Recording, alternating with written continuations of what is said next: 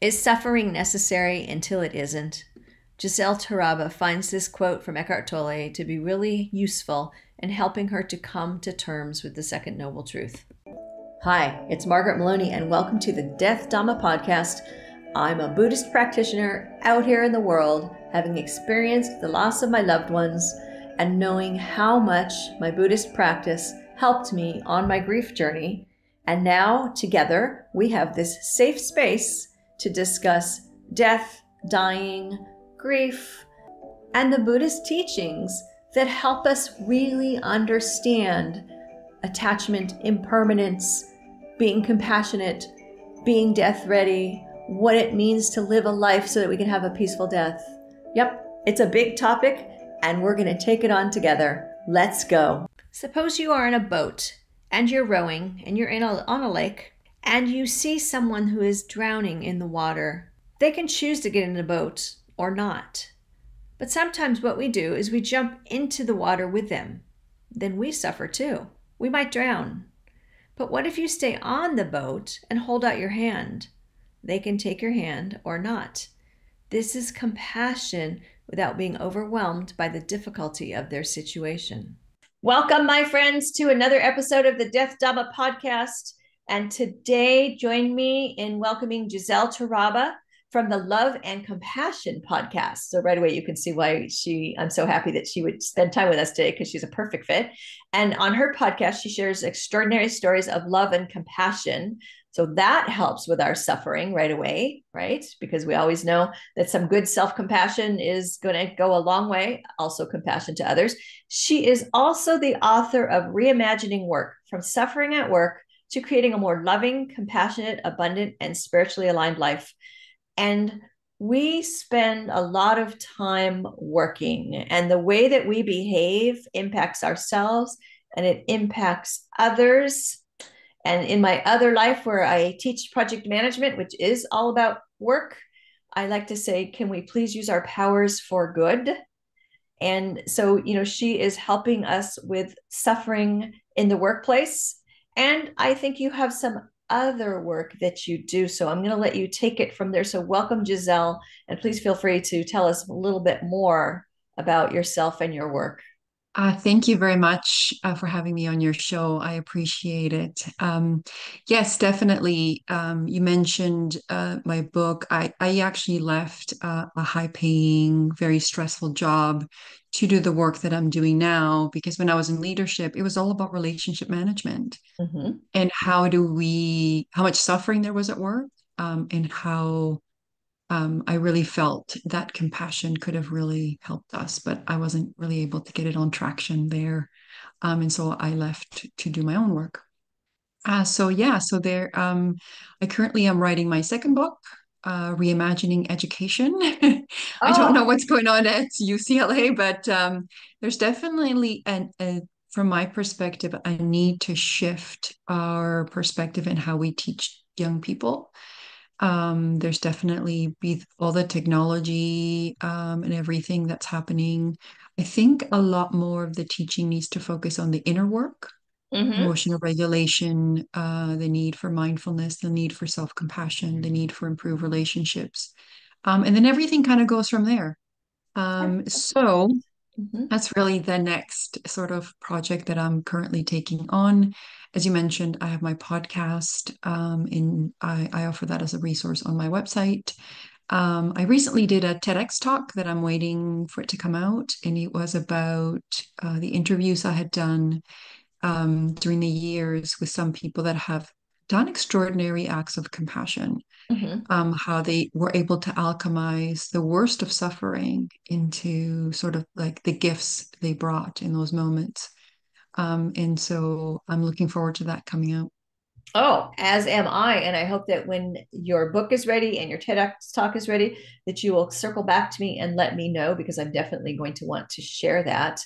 And, you know, in education, yes. And with uh, how we teach, and maybe even how faculty and the system treats one another I spent part of a day this last weekend with a friend who's, I'll say, deep into academia. I'm kind of on the peripheral edges, which is beautiful. And she's deep into the system and, and she was sharing some things And I remember I finally just looked at her. I said, "This sounds really awful." And then I think she felt like she had to console me, and she's like, "No, I I do love my job." I'm like, "Okay." But it, yeah, so there's some harsh things going on, definitely. Yeah, and I what I've noticed, and one of the things I talk about in my book, Reimagining Work, is how we have these systems of a hierarchy and power over, and that's sort of what we've been taught and what we've agreed to. And so now we're seeing a shift that that kind of leadership and that kind of structure really doesn't work uh, it really doesn't um, that's not what people are looking for. They're no longer wanting to do that. And so the perspective has really shifted. And how can we shift that to develop a system or systems that really work for everyone? It doesn't have to be this or that. It can be this and that.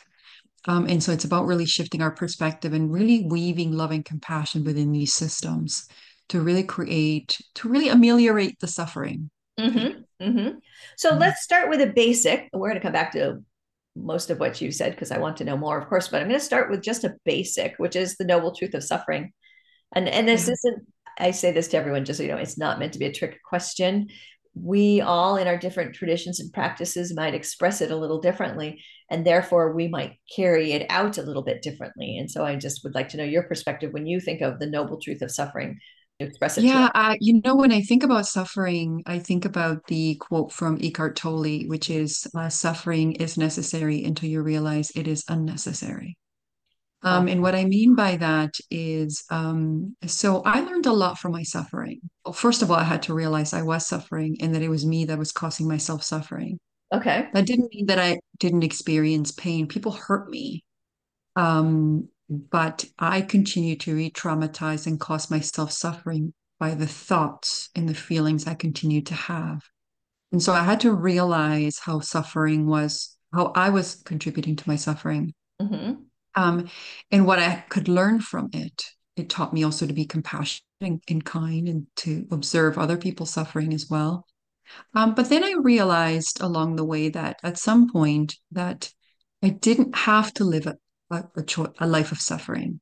I didn't have to suffer. I could um, keep myself, and I, I use this boat analogy, um, which, if you don't mind, I, I, I will share it. Oh, I want Um, to hear it. yeah, and it's it's a way that reminds me to to not focus on the suffering. So suppose that you're on a boat and you're rowing on a lake and you see somebody drowning Mm-hmm. You know you know you as a human being obviously would want to extend your hand out and say hey get on the boat. I, I, I hope you're doing okay. Um, and the person can choose or not choose to get on your boat. For me that's compassion. But Oh, people what they do is they jump in the water to try to save the person and then they end up potentially drowning themselves. That's kind of the empathetic distress or sympathy where people kind of you know, have you ever felt like really sad about somebody, like somebody has a really difficult story and you suffer with them? yes. all you're doing is really just contributing more suffering to the issue. And so, what I like to do is I remind myself to stay on the boat and extend my hand. The person can choose to not take my hand or to choose to take it. That's their Mhm. choice. But I don't have to go into the water with them. I can continue to hold out my hand until they choose to, to take it. That And so a that's, helpful analogy. Thank you so much because you're right. So yes, I can jump in, and you're right. I think so much, sometimes, so many times we do that uh, figuratively, and you know, and otherwise, and we just jump in, and then, like you said, we are also potentially drowning because now yeah, we are surrounded by the difficulty and the sadness, and you can stay in your boat, and that doesn't make you uncaring. It makes you coming from a, it makes you come from a place of strength you know and what I, I tend to think of compassion as you know noticing the suffering of others understanding that they are suffering and wanting to help them so i can be in my boat notice and want to help them but i don't have to put myself at risk of drowning which i guess i would say in, in a way that's equanimity entering the equation as well yeah, for sure. And I, I also take, um, I have to acknowledge a spiritual perspective on on this. mm-hmm. Um, I like to believe that we are all just really these powerful beings and that everybody has the potential to change at any moment. So sometimes the best thing and most loving thing I can do to someone Mm-hmm. is just hold that vision of them that they are they, they can overcome, that they are powerful, that they are successful, that they, to see them as they would want to see themselves. Mm-hmm. And sometimes that's the only thing that they're willing to accept, and that's okay. I have to be able to allow people to make their own mistakes and to learn their own lessons without perceiving that I may know better. And so for me, it really is about allowing things to be, Mm-hmm. obviously being that beacon and support for people that want to take that help, but not pushing my help or support for people because I observe them suffering. And I actually learned that from a person experiencing homelessness. We were talking about, we were talking about, um, you know, um, I would see this person as I was going to a class I was attending. And I remember one time I just sat down and we were chatting. And I Mm-hmm. asked what sort of the most challenging aspect of homelessness was. And I was surprised by his answer because he said the people that were trying to help him. And I was like, okay, what do you mean? And what he said to me was that, you know, he would see some regular people that would donate money. And then over time, those people would get really angry with him. And sometimes would get very verbal with him because they're like, well, you know, we give you money. Why aren't you helping yourself? And, you know, and, so it was that, that helping with expectation, the helping with the, with the, well, you have to help yourself and it has to look this way. This person was homeless by choice, did Okay. not want to participate in the systems, did not want to, I didn't like the structure of the society we were living in. And so, you know, obviously there was serious downsides to homeless to the homelessness he was experiencing. Mm-hmm. But one of the things that he felt strongly about was his right to choose. Mm-hmm. And so, so I was very surprised um, at his answer. I would have said it was, you know, potential violence in, you know, in the shelters and so on and so forth. But Right. it was that. So I remember reflecting on that conversation and asking myself, where am I giving with judgment? Where am I expecting people to change uh, in my life? Mm-hmm. And where can I practice more of an unconditional love and acceptance? And I find that when I do that, people are much more receptive to my help than when they feel judged for uh, for the, the support. I can see what you're saying as you're speaking. I'm thinking that definitely something I've worked on in my life is letting go of that expectation of helping, uh, and maybe more so in my you know personal relationships than with helping someone on the street. But definitely that thought of I did this for you, with you, whatever and now I can't believe you're treating me this way. Or, yeah, definitely early on, I had strings attached. I didn't realize I had strings attached until there was a problem. And then I was like, wow, how could this person treat me this way? I helped pay for their kids' tuition or whatever. And I had to really look at myself, which is important and difficult, and realize your role. What is your role in this, Margaret? Your role is you are not giving without strings attached you think there's no strings attached, but those strings they came right up. They came right up. That's very insightful of you. Um, so I think you should acknowledge that Oh, uh, because often there's so many of us, and there's been times in my life when I wasn't even willing to have a conversation. I wasn't really wanting to be that aware. And so anytime there is that level of awareness where we say, okay, what's my responsibility? I think is is something that should be acknowledged um, because it's such a strong stepping stone to us making a change. Um, whenever there's expectation, there's always going to be suffering Mm-hmm. because because sometimes our expectations are are are not met or not vocalized. I wasn't very good at in my relationships in the past at being able to say what I really needed. I expected the person to be a mind reader to Right, tell me, you should know. If you knew me, then you would know this. And right. that's kind of a very unfair expectation. Um, and so expectations usually lead to suffering. I had to learn that one too. I had learned that one too. I had to realize sometimes you just have to look at people and say, no, this is what I really want, and then deal with it together. Right. But that not knowing, like, how can somebody read my mind and know that today I want to go have pizza or whatever the thing is? You know, like, well, you should just know I like to have pizza on Fridays. Really? Why should they just know that? For me, I realized that it was about wanting to be seen. For Oh, me, when I really dug into those expectations, it was about does this person really see me? But then, like you said, you know, I had to really dig a little deeper and say, am I allowing myself to be fully seen? And I oh, wasn't. right. I went around with this armor on, but I wasn't aware I had an armor on. And so my Mm-hmm. husband once said to me when we were dating, So when are you going to put your armor down?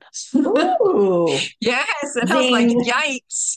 and I'm like, what armor? And he's like, oh, you carry around a pretty thick armor. But when you're in it, you don't really realize that you're walking around. So I really wasn't allowing people to see me. And so therefore, people couldn't really know how to meet those expectations. So I was setting up sort of a self-fulfilling prophecy where people disappointed me. Yeah, and it's it's heavy we get this armor and it's heavy, but we get used to the weight. Yeah, I love that you said that. Yeah. We get used to the weight. True. Can you share with us, you know, you've had these experiences, you had this experience with the unhoused person, you've had your own challenges. So, what brought you to this place of taking your experience and wanting to help others? To get rid of their suffering or to make suffering easier for them? What brought you to this place where you decided that's what you were going to do? Um, I think that has morphed over time, but I'll start with the beginning. I think in the beginning, I was just wanting to help myself. And I, I kind of have this belief that when you help others, you help yourself mm-hmm. um, because we're so interconnected. So I really felt like the way that I could help myself was by helping others. And then in, I find that you also learn from when you're helping others. Um, but now I feel like it just comes from a genuine love of people. It doesn't come from that place of suffering or needing to, to teach and learn anymore. It comes from just a genuine love of how amazing and wonderful we are, um, and how much fun it is to watch people flourish. Um, and I still do believe in that interconnectedness. You know, my wellness depends on your wellness, as a friend of mine said. I can't be well unless you're well because you know, you hurt someone else and then they hurt someone else and it eventually comes back to me. And so it is very much, as she said, an act of self love to love others. Uh, so for me, um, it really is about loving myself through others. Okay. In, in, through being of service. Okay. And, you know, your, I would say one of your primary tools or messages, however you want to say it, is to really bring compassion.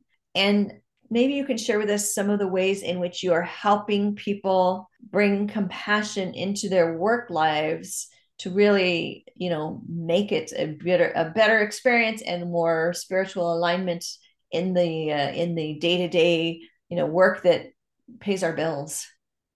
Yeah for sure. Thank you. Um, so the the primary thing is that really is that awareness of what we're feeling in the moment mm-hmm. and what we need in the moment. So often when we're in the workplace, we're just go, go, go, and we're not taking time to check in. Uh, but at one point, I, I had the role of being a director of like, I think I had nine departments at some point, or maybe even 11. And one of my departments was HR. And leadership is all about interpersonal, it's all about relationship management. And I would see these people that were so hurt at times and didn't know how to manage those difficult feelings because they hadn't taken the time out to check in with themselves and ask themselves what they needed in that moment and given it to themselves through compassion, through love, or even externally if they needed to reach out to someone else. And so that's one of the ways that I am helping people is through helping them understand that they can tap into this well within themselves of love and compassion that exists there naturally. They don't need to take things from other people and cause us kind of relationship issues. They always have this unlimited well within themselves. And by tapping into that well, they can fill up their own cups and they can give to other people from their overflow. Um, and so that's one of the ways. The other part where giving ourselves what we need in the moment is really helpful is in having difficult conversations again in the workplace there's uh, difficult conversations have to happen mm-hmm. unless you are not doing any any of the work or unless you're not diverse enough you have to have difficult conversations whether it be with students or with your fellow faculty or with leadership and so it's about managing our own emotions and our own needs in that moment so that then we can be open to differing perspectives perspectives that otherwise would trigger us and cause us to eject or get defensive and so by leaning into our own difficult feelings, we can stay in the conversation longer with one another. And then we can get at that, finding that commonality, finding that understanding, getting to curiosity. But until we manage our difficult feelings, we're not going to get there. And this is what you're seeing in the world now, which is people canceling one another. There isn't a, a, an, an opportunity for real conversation, even difficult conversations about race and equity and all of these other issues.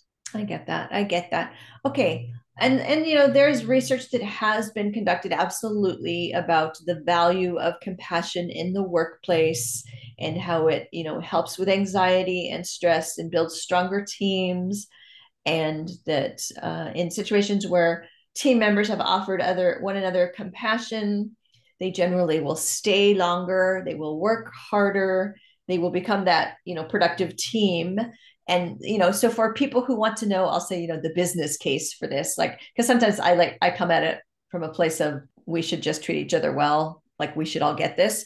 Uh, but we are talking about the work world and so sometimes people want to know like the bottom line right? So here's the bottom line is your team can become a high performing team. They'll be more productive. They'll do better. You'll do better. But still i have to think that you encounter that person that's like but giselle i'm a director I can't, it goes back to the armor discussion we just had. I can't show them any cracks in my armor. If I show people compassion, they're going to think I'm weak. Help me. Yeah, we have a lot of myths of compassion and, and it's it's so thank you for asking this question. There is that perspective. First of all, I don't think we understand what leadership is or, or what leaders what it what it means to lead someone. Um, and we certainly don't understand the difference between true strength and versus force, right? Aha. Um, and so people think that using force or power over is the way that we get people to change. But the truth of the matter is, the most effective way to get people to change is through motivation and understanding and mutual um, mutual collaboration. And so there is this perspective that, you know, compassion and love are weak, and that, you know, if I do that, then people are going to walk all over me. But that's actually not been found in the research. So thank you for mentioning the research. The, the, mm-hmm. research hasn't just found that at all. It has found that actually, like you said, it creates more cohesive teams, people come together more.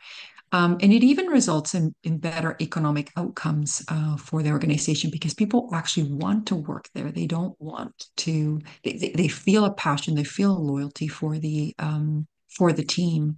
And I will also say that Giving yourself and others compassion when you don't think either yourself or the other person deserves it is one of the hardest things to do. Mm. It is one of the most challenging things to do. People think it's weak. It's the other way around. I've spoken to people who have forgiven people that murdered their children. I've spoken to people who have faced sexual assault and had to, mm-hmm. to forgive and find compassion for that. That is the hardest thing that you could do. It is so much easier to just put power over and put our armor on Mm-hmm. It's much, much more difficult to allow ourselves to be vulnerable. But that's where true connection comes. And when you're working within a team that has true connection, they're unstoppable. That's true. I think that's true. Yes, I do often think, you know, sometimes I want to say to people, like, you don't make the mistake of thinking that compassion is weakness because it's not. And it doesn't make you a doormat. It doesn't make me a doormat. Uh, sometimes compassion means saying no, you know, which brings back to that idea of like, but what if everyone thinks I'm too nice? If I'm compassionate to my team, am I too nice? Yeah, so there's so I don't think it. I think again is that people really don't understand what compassion is. So saying no to someone else is saying yes to yourself, mm-hmm. right? Sometimes the most loving and compassionate thing you can do for yourself is to say no to someone else or get away from them or not allow them to hurt you anymore. You know, Kristin Neff has this thing called fierce compassion, which is really about you having really, really strong boundaries and really, you know, stepping in your into your strength. So the most loving and compassionate thing you can do is really have good boundaries. Um, and so, but people don't really understand that. They think that giving to others when they don't want to is compassionate. That's not compassion. That's not true compassion because compassion is about yourself and someone else. Giving to people when you don't feel like you're going to take away from someone, including yourself. Mm-hmm. So, to truly practice compassion, you're giving yourself and someone else that. And so, it's it's it's a gift of love to say to, no to someone and to say, I can't do this for you in this moment. I'm sorry, but maybe here's what I can offer, or maybe someone else can offer that to you. Okay. Um, what do you see? So, with the work that you're doing and where you're helping people and you're bringing compassion, what is the most common suffering that you encounter? So, you go to uh, work, consult, mentor, coach somebody, and you're doing this over and over again. So, there's some common themes. And maybe you can tell us about what are those common themes, the most common types of suffering that you're seeing come to you in your work. Um, I would say the most common is uh, the negative self-talk, the inner critic, the the harshness, the inner, because I think everybody makes mistakes, but it, it Mm-hmm. is how you manage yourself in, in those difficult moments uh, that causes the most suffering because really being harsh and, and critical to yourself prevents you from changing. And that may seem counterintuitive because we've been taught, oh, you know, my inner critic is my motivator. That's just how I motivate to do work better and better and better. But the truth of the matter is that that inner critic causes a lot of shame. And it's shame we don't want to address. And Mm-hmm. so there will be aspects of ourselves where we will kind of dim our own light and not really truly flourish and be our best selves, our more, most authentic selves. And so can't ever really get to the point of flourishing and getting beyond suffering if you're treating yourself that way. And and the other thing that I really see is often that people are, are continuing to re-traumatize themselves. Sometimes a trauma happens, Mm-hmm. but with their thoughts and emotions, they keep reliving it and reliving it and carrying the same feelings and beliefs and emotions to the next day and the next day and the next day and the next day.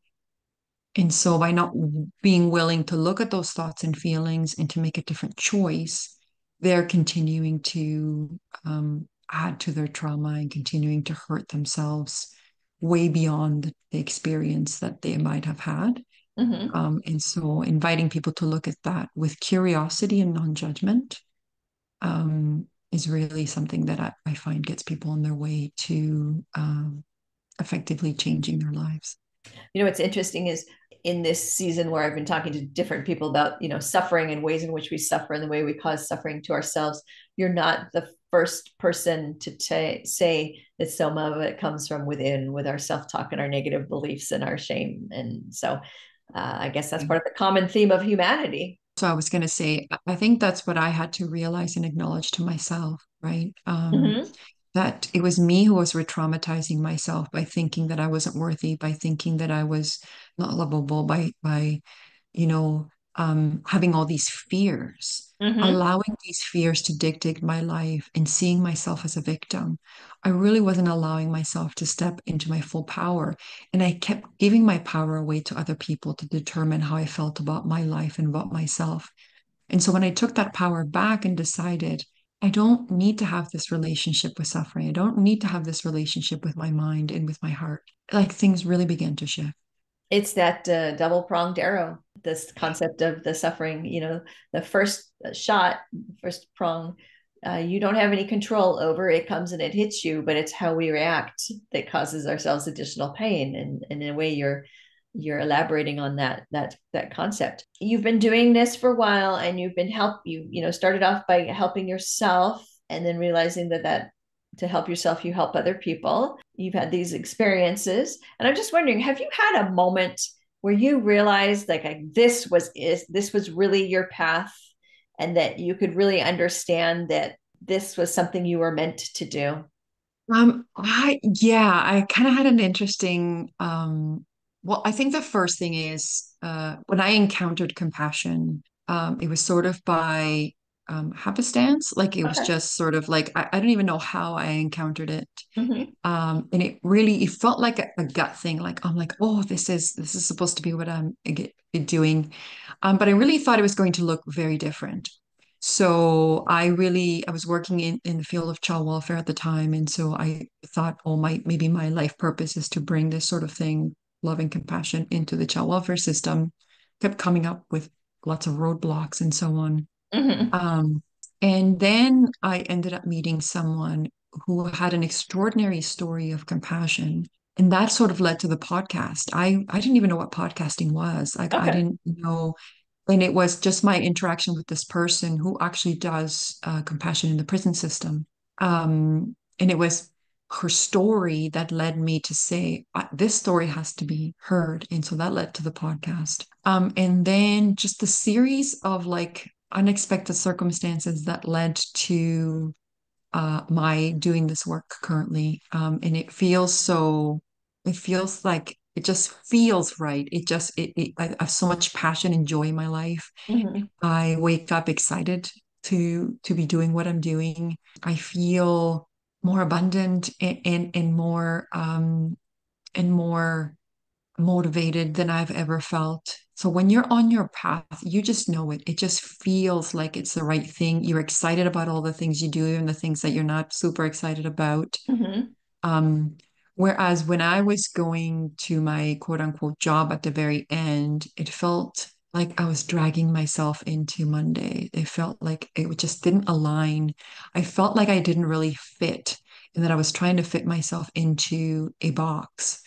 Um, whereas I feel I feel free to create uh-huh, uh-huh. currently, uh-huh. and so so yeah, it's it's been a, a, a heart journey um, because what I thought, what my mind told me that it was going to look like, it's not what it's looking like at all. Like it's it's okay. there's things that I never thought that I would be doing, I'm doing. Um, and so I'm just kind of opening myself to source, universe, God to guide me. So isn't it amazing how life will hand us things or bring us to places that we just never, you know, it's some so often like it's I always think it's good to have a plan, but then it's good to understand that that's like a rough outline to guide you and that something else is probably going to come along that could be so much better and bigger and more rewarding than anything that was on our plan you know yeah. especially when i was younger my plan to be honest was all about moving up the ladder and making money that was my plan like i need to make this much money by a certain age you know etc mm-hmm. and and i i don't think i was uncommon and what you're saying about that knowing like that drudgery of that dragging yourselves to work unfortunately i think too many people have that experience of oh, it's Monday. I mean, you see it in social media and memes and jokes and things about, oh, it's Monday again. And if our work was aligned, we wouldn't dread Monday. Right? We would be we would be get sprinting up on Monday morning and saying, I get to do what I love. Yes. I get to to live my life of joy. I get to to do something that I'm excited about. But we've bought into that belief, right? We've bought into that belief that our goals, our life is about making money and climbing up the corporate ladder and, and going to a job. And and see, these are just beliefs like anything else. And so I think now more than ever, we're realizing that we get to take the reins of our lives. We're taking our power back. And you see it in lots of different ways that people are starting to be really dissatisfied with the systems we have. Um, and starting to really realize, okay, so what do I want to create now that these mm-hmm. systems are? that I don't want these systems. What do I want instead? Exactly. Exactly. Some tips for the people who are listening who are still at that place, unfortunately, where the drudgery of it all. Do you have a couple of tips for to help them? That the ones that are like, uh, I have to go to work tomorrow. Yeah, um, I would say uh, be willing. To, so uh, willingness begin like sort of cracks the door open to anything. Mm-hmm. Be willing to believe that you can live your dream. Uh, be ah. willing to ask your heart what it would rather be doing. Now, or be willing to ask yourself, what do you want to do? What's your passion? What do you do? I've asked so many people, and sometimes people have no idea. They, have no clue. And it's because they weren't allowed maybe as children to to to do the things that bring them joy especially if they had really restrictive parents they may not even know how to answer that because if they had parents that criticized them for doing things that they love to do or their joy, they're going to withdraw and not want to be criticized for wanting to be, you know, an airplane pilot or wanting to be an artist or something that maybe didn't uh, meet their parents or, or their their teachers' expectations. Mm-hmm. And so just being willing to believe that you can live your dreams, being willing to tap into your heart and say, hey, what's the biggest, boldest dream that we could have for ourselves? That doesn't mean you have to quit your job. Doesn't mean you don't have to do the things you have to do or pay your bills or anything like that. Mm-hmm. It's just you being open to how if if we were going to do this, maybe theoretically, what could that look like? How could that be open? Could is this something that I could do you know, on the side or just start even little tiny, tiny. I have a friend who's starting a new business and she's Mhm. like, you know, first of all, she had to say yes to the universe. And so she just said yes, and things are just coming at her, which is amazing. Um, and she's like, you know what? I just want to start teeny tiny to see if this is something I would love or even start. So you don't, people always tell you, oh, you got to make a million dollars and you got to start off within the five. You don't. Just start from a place that you love to see if you're really going to love it. Take a step forward. You don't have to go all the way to the end, as people always say. So I think Mhm. if you manage it in, in small bites, you may be able to, on the path before you know it, one step at a time, you're living your dream. I think you're right. I, that's so helpful. Thank you so much. How do you keep your spiritual reserves, you know, strong and full so that you are able to continue to help us? Yeah, to me, to stay on the boat, you mean? Yes. How do you stay on the boat? Yeah, yeah. I I meditate. I Okay. I do meditation. I do a qigong practice as well, but I just wanted to put a proviso. Different things work for different people. So I do believe that sort of within our hearts there is like a seed of things that are really our passions and things that really work well for us. Mm-hmm. And the our purpose is to water that seed and allow it to come to fruition. I mean, the seed has within it everything that it needs to make a tree. And so I think we're the same. I think we just have to water that with love and compassion and curiosity and creativity and allow that seed to sprout. So find whatever works for you that helps you stay on the boat. For me, it's Qigong, it's meditation, it's checking in. I think when I'm struggling the most, I will put an alarm every hour to check in on myself, Oh, that's so to, to say, smart. okay, keep yourself. Are you are you keeping the high vibration and energy? Are you still staying or are you sinking into the stress? Are you are you getting caught in the story? Are you getting and so and what happens over time is that before even the alarm goes off, you will um you will notice and you will Mm-hmm. actually stay in that space. Um, and that comes from Regan Hillyer. Um, and so that so keeping that that energy up and keeping that awareness of myself keeps me grounded. Mm-hmm. Does that mean that I don't get, of course, like everyone just has days where they're triggered or they just can't do it. Sure. In those moments, in those moments, I meet myself with curiosity and non-judgment and say, Hey, what's going on, Giselle? What's happening for you? Okay, this is happening for me. Okay, I need to take a moment for myself and give some boundaries, especially with my children, because they can be ask, Fair. ask, ask, ask um, and say, okay, I need to regroup for myself so that I can show up as the best version of myself. And so that's what I do for myself to help Mm-hmm. myself. I also love gardening and being outside. Okay. Uh, but again, people need to find what really resonates for themselves. Um, and and like my daughter, she just doesn't do meditation. She doesn't Okay. do that. But when she is in her art, she's fully in and she's in the mindfulness moment. Or when she's in her garden, she's in full joy. And so I think people need to find what they, but it really is about asking ourselves and taking that time and saying, okay, what would bring me the greatest joy or what would help me in this moment when I'm struggling? That's beautiful. Thank you. Are there any other tips that you would like to leave us with, or something that you wanted me to ask you that I didn't that you'd like to address? This is that. This is that moment to make sure. Yeah. No, um, I think the only thing that I want to mention is that it's our birthright to live our dreams. It's our birthright to be abundant and healthy and and, and all of those things. Um, and every time that somebody does that and steps up into their own power, that person becomes the beacon for someone else to be able to know that they can do it. And that's how we're walking ourselves all the way back, to to to home, right? Like to our to our best selves. And so don't be afraid to be willing to take a scary step or to believe that you can live your dreams. You don't have to get stuck at a dead job. You don't have to, in my experience, honestly, when I took a step in faith, things came at me that I didn't even know. Like the universe sort of provided for me. I'm not saying that you need to take that step because you need to meet yourself where you're at, but Mm-hmm. just know that you are worthy to live all your dreams. And so just be willing. Beautiful. And you hit upon one of my favorite sayings too, expressions, which is we're all just walking each other home. Yeah, I, I do feel that way. And I do feel that way that by extinguishing our own light. Sometimes we dim our light because we think I'm going to make somebody uncomfortable or I was told to or whatever. And that's such a, we've done ourselves such a disservice.